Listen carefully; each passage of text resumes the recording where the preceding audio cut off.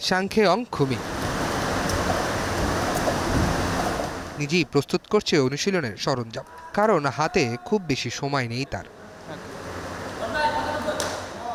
Asian গেমসের শুরু হতে বাকি মাত্র এক মাস। জিমন্যাস্টিকে কখনোই ভালো করতে পারেনি বাংলাদেশ।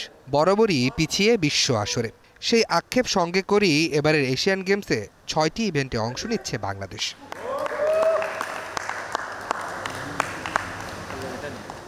শুরু থেকেই অভাব ছিল আন্তর্জাতিক মানের প্রশিক্ষণের, তাই রয়ে গেছে অনেক টেকনিক্যাল ভুল। তা শুধরাতে সময় লাগবে বেশ।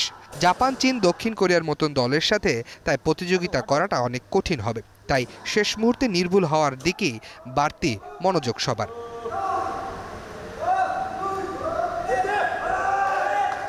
স্টার্টিংয়ে হচ্ছে আমরা এরকম ভালো কোচ ভালো কোচের আন্ডারে ট্রেনিংটা ওইভাবে পাই নাই। যে কারণ হচ্ছে আমাদের অনেক ব্যাকডেট রয়ে গেছে যে পিছনে যে সূত্রগুলো আছে আর কি, যেগুলো টেকনিক এগুলো এখনও কিছুটা ভুল রয়ে গেছে আর কি, যেগুলো হচ্ছে করতে করতে অভ্যস্ত হয়ে গেছে আর কি যেটা।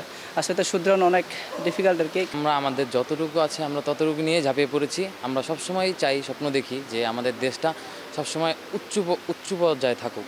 তো সেই ক্ষেত্রে আমরা সবসময় সর্বদা চেষ্টা করি দেশটাকে যেন আমরা অনেক উপরে উঠাইতে পারি। আন্তর্জাতিক আসরে ভালো করার মতো তৈরি হয়নি বাংলাদেশ এটা মানে খোদ প্রধান কোচও তবুও তার লক্ষ্য এশিয়ান গেমসে ভালো কিছু করার 그리고 어떤 종목보다 체조에서는 굉장히 하이 레벨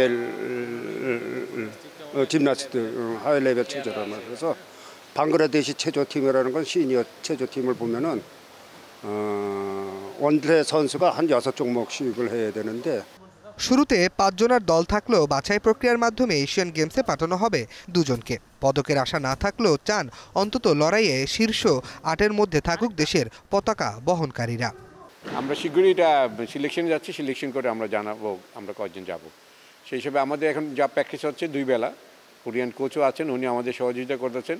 তো আমরা আমরা আশা করি একটা ভালো রেজাল্ট হয়তো রেজাল্ট আসবে না, কিন্তু একটা ভালো পর্যায়ে যাওয়াটা আসলে আমাদের সবচেয়ে বেশি আর চেষ্টা।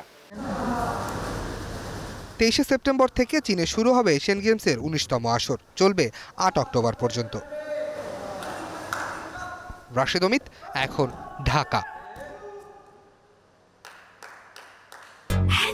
Someone